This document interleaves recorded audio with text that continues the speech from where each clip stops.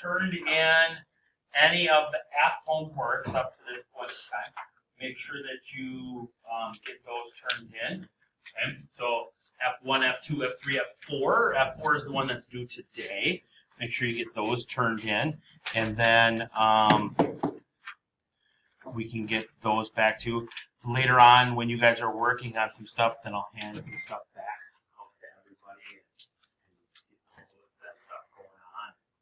All good stuff there. Okay, so today we're going to do F5, which is going to look a lot like yesterday's stuff, but just a little different, little tweaks going on with it. Um, and then tomorrow is going to be a formative, so we're going to have a formative in class tomorrow. And then, yeah, get on down the road with good stuff. Okay. So on the warm ups for today, we are in the note packet on F5. We got two warm ups going on today. This right, whoa, whoa, tap the brakes. I forgot to do that one. There we go. Now we're all good. Okay. So on, wait, wait a second. So this is our rule, our transformation rule we had yesterday. Right there. That's our rule. That's our rule. So what we're asking for in this warm-up is I want you to take point A in the first one and point B in the second one, and I want you to transfer transformation it or transform it into A prime and B prime using those two different rules. Okay? Go ahead. I'll give you a minute and a half, 90 seconds. What does it say that we need to do to our x's? What's the transformation we're doing with our x values? Plus what? We're adding 4, right? Okay, so we're adding 4. So this tells me right here that we're adding 4 to our x value. Okay? So 2 plus 4 is 6. Okay? So this is going to be the point 6, comma, what does it say we're doing with our y's? Subtracting 5, so then I got to subtract 5 on that.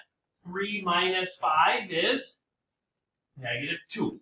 So then we got, the, so A prime is at the point 6, comma, negative 2. Because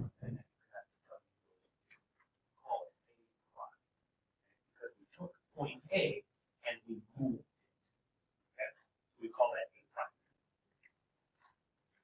prime. Okay? With me on that? Okay? What are we doing with our X's in B? Somebody other than Adrian. What are we doing with, on, for point B? What are we doing to our X's? We're doing nothing with the X's and we're doing what with the Y's? We're adding two. So we're just on this one, we are just adding two to the Y's. Okay? So the X is going to stay the same. Y is going to be have two added to it. So X is going to stay the same. So it's going to stay 4. And negative 5 plus 2 is negative 3. So it's 4 comma negative.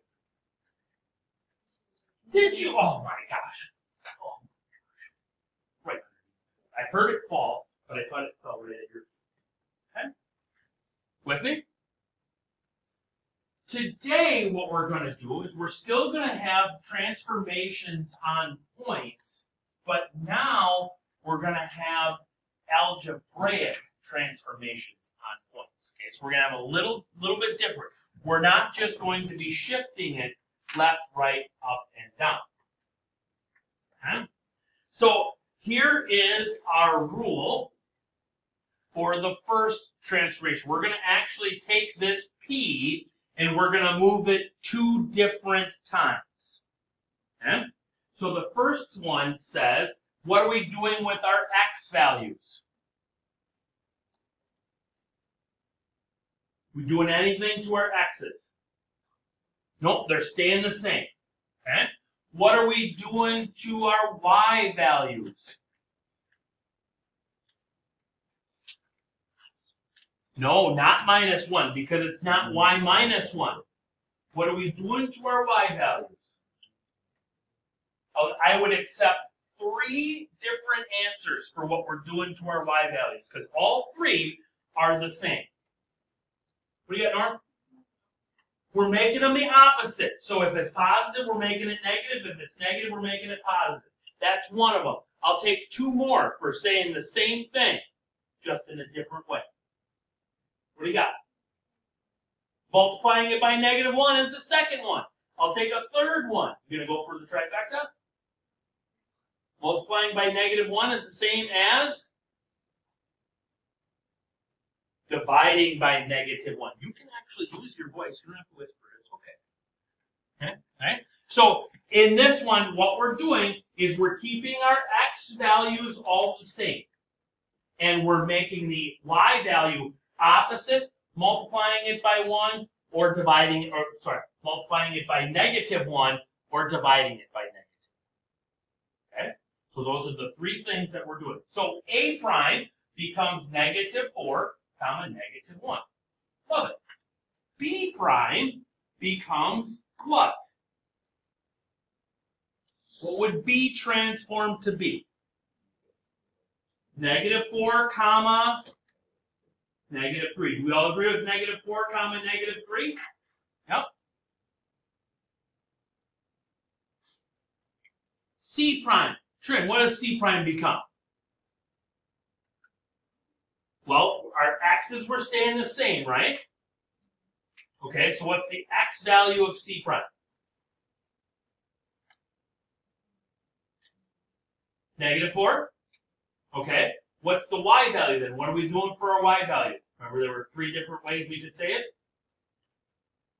Multiply by negative 1, divide by negative 1, opposite. So what's the 5 is going to become?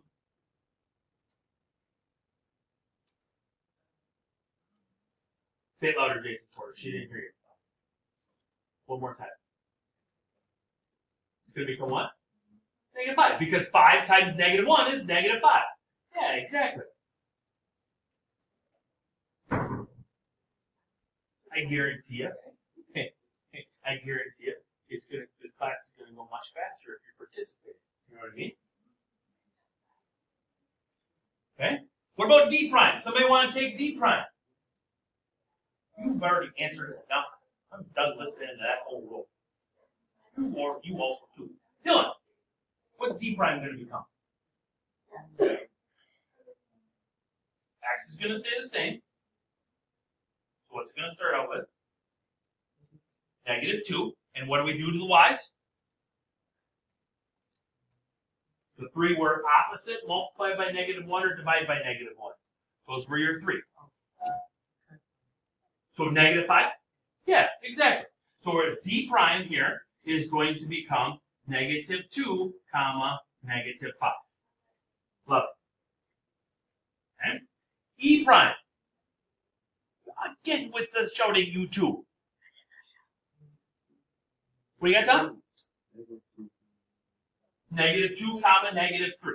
Now, the downfall, yesterday we talked about how you could, on the graph, you could literally just take each point and count to move the points. Geometrically was yesterday.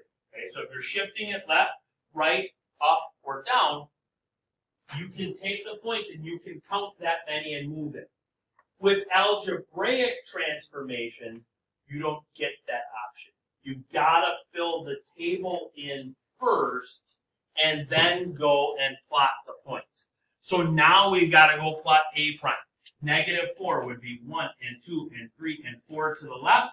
Down 1, big dot, A prime. B prime would be 1 and 2 and 3 and 4 to the left, down 3, 1, 2, 3, big dot, B. C prime, from the origin, 4 to the left, down 5,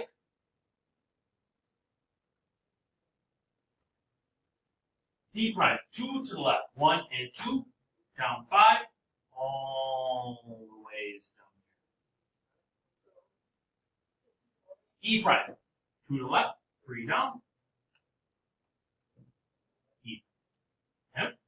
Then you got to connect the dots in the same way. Okay? So A was connected to B, B was connected to C, C was connected to D, D was connected to E, and E was connected to B.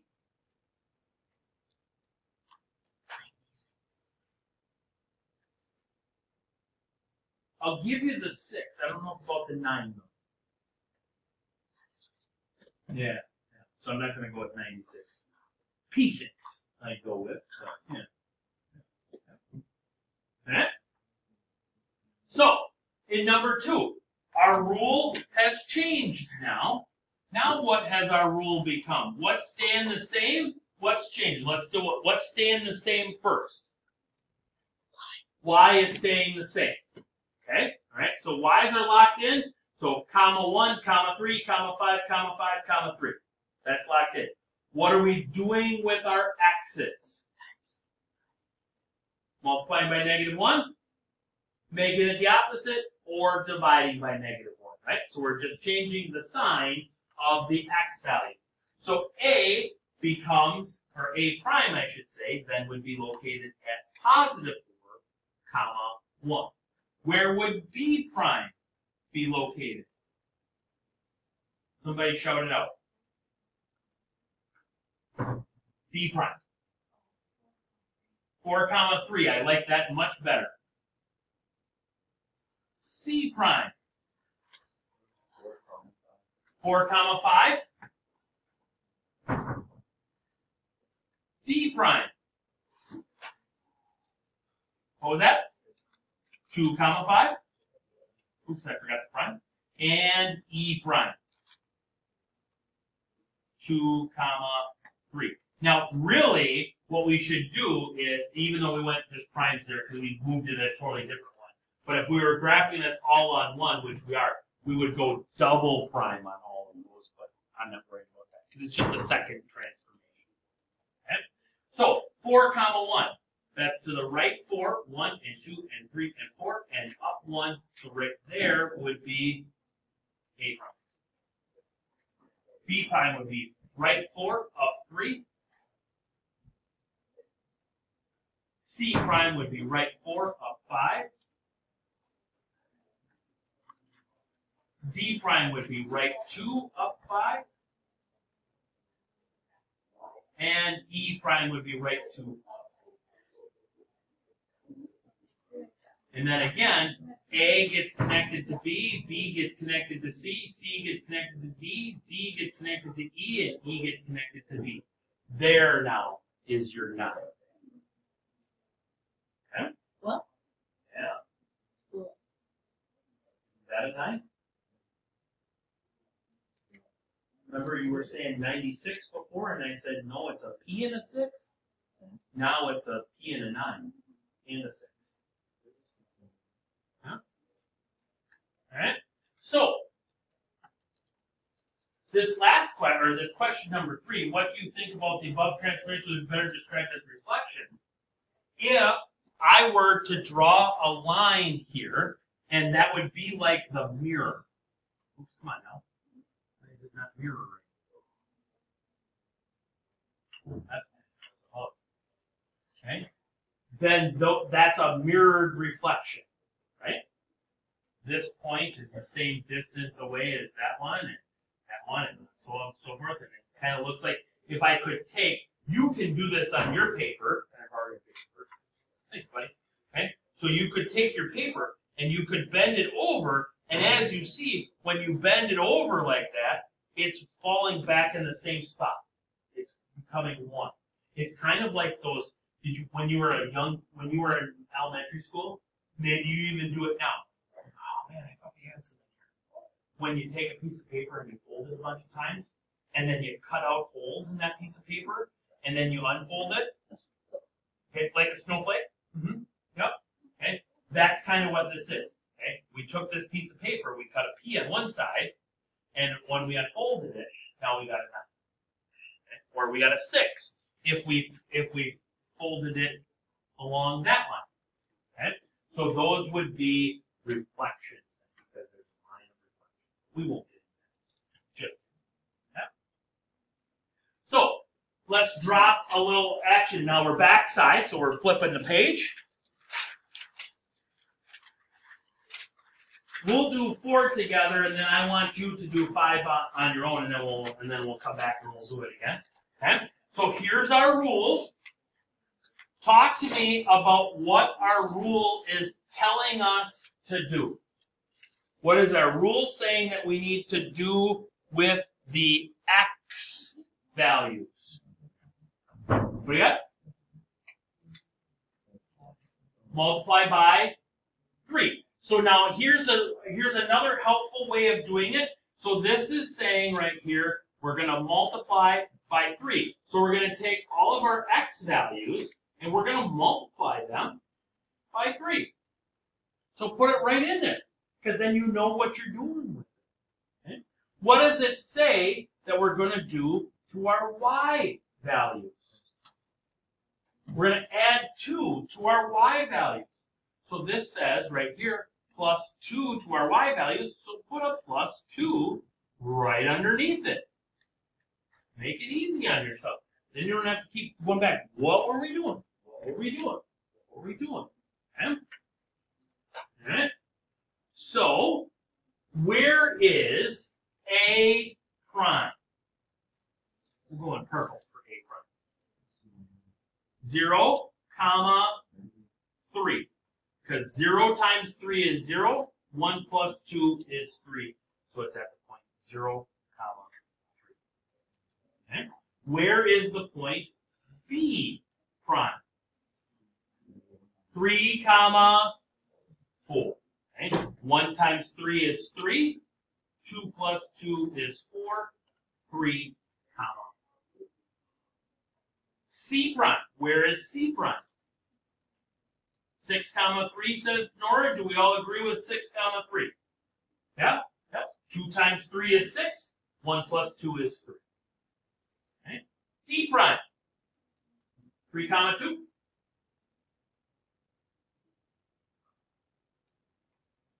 1 times 3 is 3. 0 plus 2 is 3. Now we can go and we can plot those points. Okay? So A prime is at the point 0, so I'm not going left or right at all. Up 3. 1, 2, and 3. Right there now is A prime. B prime. 3, comma 4. Right 3. 1, 2, two, three, and four.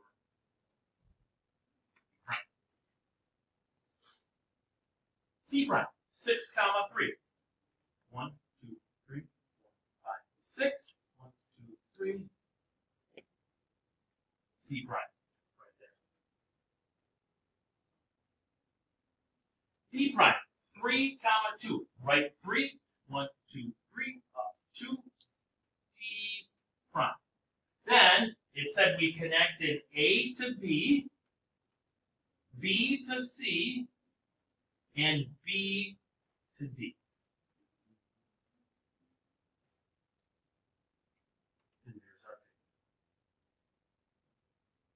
Questions, comments, concerns, clarifications?